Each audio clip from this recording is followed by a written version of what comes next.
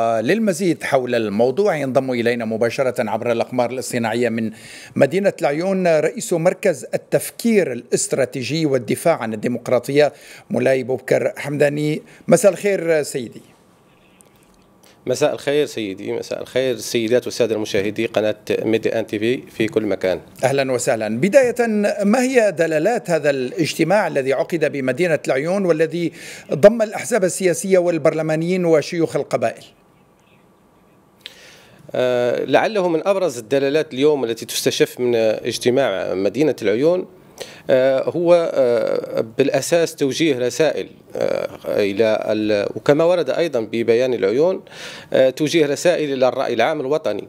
وأيضا إلى المنتظم الدولي غايتها والهدف منها التوضيح أن كل الشعب المغربي بكل أطيافه بكل تلاوينه السياسية المدنية وأيضا التمثيلية آه، والمجتمع اليوم بمدينة العيون في هذا الاجتماع رفيع المستوى والممثل بكل آه، قادات الأحزاب السياسية ومكاتبها السياسية والمناضليها من مختلف الأقاليم مع الشيوخ أيضا كما أشرت وشيوخ القبائل الصحراوية ومع المجتمع المدني المحلي ومع آه، الأعيان والمنتخبين. هذا الاجتماع رفيع المستوى هو اليوم لتوجيه رسالة واضحة أن الشعب المغربي آه، موحد حول قضية وحدته الترابية. لا انقسام حول الموقف. آه، أيضا آه، هذا الاجتماع يوجه آه، يأتي في إطار مسارات متعددة منها ما هو قانوني منها ما هو دبلوماسي ومنها ما هو سياسي لتوضيح أن أي تغيير في الوضع القانوني والتاريخي آه، آه، لكل آه، التراب الوطني هو مرفوض نعم. وخاصة في المنطقة العازلة. نعم طيب الاجتماع شرق وجنوب الإطار سي بوبكر يعني الاجتماع توج بإعلان العيون الذي ركز على الإجماع الوطني بخصوص قضية الصحراء المغربية. كيف تنظرون إلى هذه الروح التعبوية التي تميز تعامل المغاربة مع هذه القضية المصيرية؟ صحيح هذا الاجتماع اليوم آه، صدر عنه هذا البيان الهام آه، آه، بيان 9 أبريل 2018 بمدينة العيون ضم ديباجة إضافة إلى 15 نقطة ركزت في مشملها على الإجماع الوطني حول هذه القضية. أيضا شجبت كل محاولات تغيير للوضع القائم القانوني للمنطقة العازلة شرق وجنوب الجدار. أيضا أوضحت أنه هناك إجماع وطني لا اختلاف فيه. كل الطيف السياسي كل التمثيليات آه، الجهوية والوطنية الحاضرة تؤكد على أن الشعب المغربي لا مناص هو موحد من أجل الحفاظ على وحدته الترابية.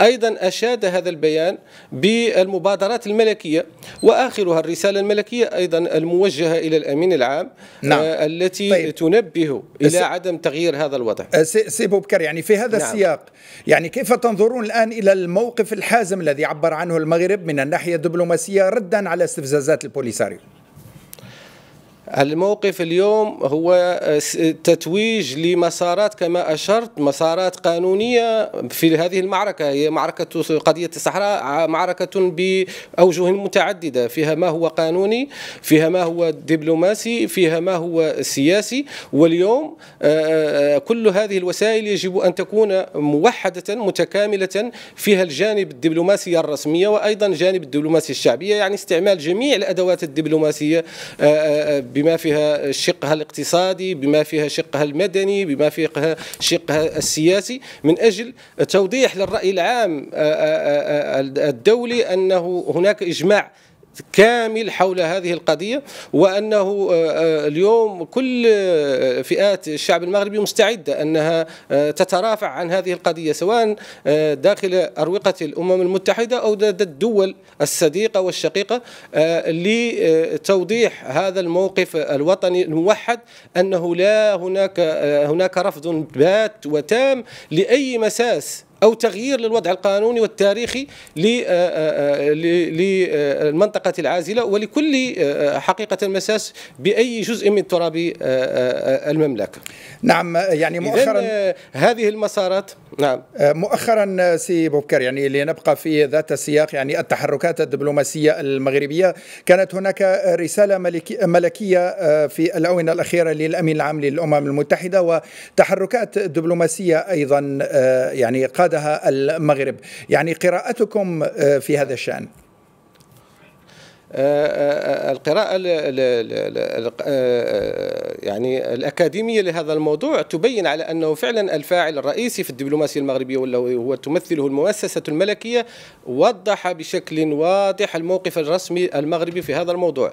أيضا وزارة الخارجية تقوم بأدوارها التقليدية في الدفاع والترافع وتوضيح الموقف المغربي لدى كل هذه الأطراف وهو موقف حازم. كان لابد لابد من من من من من من سلوكه. كان لابد من أن للمملكة المغربية أن تسلك هذا الموقف لأنه آه، معطيات تغيير معطيات الواقع على على الأرض آه، فيها مساس. فيها مساس حقيقي بوحدة المغرب الترابية. فيها أيضا آه، تكتيك وربما استراتيجية لاحقة قد تغير من من من الأوضاع وهو ما تفطنت له الدبلوماسية الرسمية وانخرطت فيه. اليوم أعتقد أنه نعم. مطالب بشكل أكبر إلى جانب الدبلوماسية الرسمية والفاعلين المسؤولين الرسميين في الدبلوماسية أي جلالة الملك والبرلمان ووزارة الخارجية يجب اليوم تفعيل أيضا وهو ما تقوم به لقاء اليوم تفعيل الدبلوماسية المدنية أو الموازية أو الشعبية ممثلة في الأحزاب السياسية والهيئات الغير حكومية الفاعلين المدنيين نعم. وأيضا ممثلي الساكنة